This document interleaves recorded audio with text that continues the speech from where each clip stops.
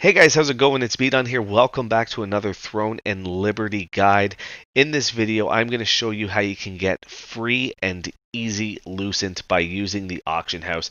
Guys, I'm going to be honest, I thought the auction house was not going to work. I thought people are going to only want rare items, but I've been selling like blue items and it's really easy and it's really quick to do. You just have to have the right items.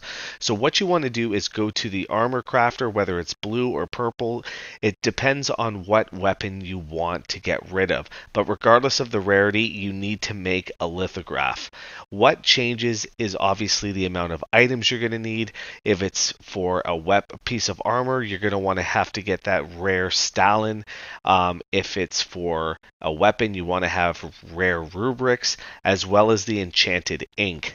Now, all the items are usually dropped within the world, especially within the dungeons. So if you have the Abyssal Contract tokens that are in the top right corner of your screen, it kind of looks like a little devil head. You can max out at 20,000 of those. When you have them, you can go into the dungeons and farm, and the enemies will be dropping the materials that you need. But when it comes to ink, I have not had that dropped. But what I've been doing is going to the contract coin merchant and buying them she sells 50 a week.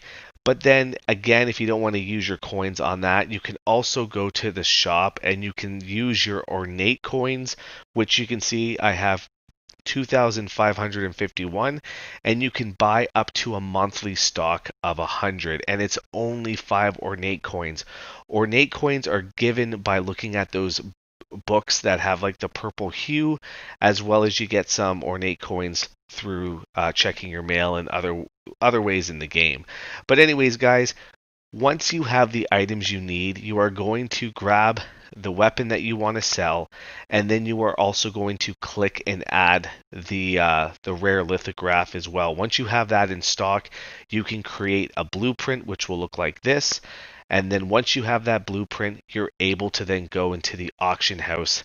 And once you're in the auction house, all you go is to the sale tab and then you're going to click on your blueprint and then you're going to notice there's some numbers. There's the highest sale price there's the average and then there's the lowest. If you want to sell it really quick i recommend going just a few coins under the lowest sale price. You don't want to shortchange yourself but at the same time you don't want your item sitting in the auction house for too long as you only get a two day maximum i believe. So the person selling it for 350 is going to be waiting a while. So i'm going to set it to 35 and then all you simply do is hit accept, accept again, and then you wait for it to register, which takes no time, and now your item is up for sale. Usually within a day, it, it sells, and you can see here that a lot of the items I've been selling are just rare. I thought for sure it was only going to be super rare items, but everything I've put up there has sold. I've sold um, traits, I've sold a lot of blue armor, and I have a purple one there, and you've noticed that the prices that it was on sale for are different than what my profit is. That is because there is a tax. So if you look, it says tax rate 22%.